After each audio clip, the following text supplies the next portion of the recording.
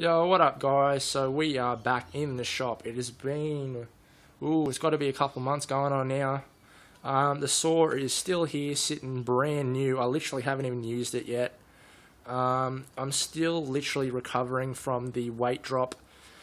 Um, still a few more tests to go before they actually find out what is wrong. Um, the weight drop initially just started it off, all you know, and then it was more or less a downhill spiral. I'm back to probably about 80%, but still, um, you know, a couple more tests to go. So, uh, well, yeah, I mean, I really can't tell you anything more. I don't really know.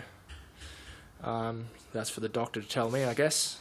So, yeah, there's really not a lot been going on. I haven't really done anything uh, in the shop. Um, you can see there's the material cart, which is still um, still being completed. I guess that was back probably what a month and a half ago.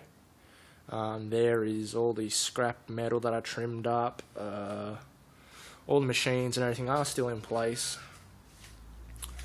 But yeah, so really, I haven't been able to do much.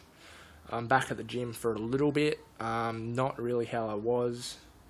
So yeah, anyway, so be sure to like, comment, and subscribe. And when I do get back to 100%, I should be able to get some projects completed. Um, that with having a gorgeous girlfriend um, kind of takes up a lot of time. But, you know, I guess that's part of life, guys. So anyway, I guess I'll catch you later. Be sure to share this video around, like, comment, and subscribe. Be sure to check out the S&S Customs Facebook page. There will be a link in the description. Be sure to check it out. Yeah.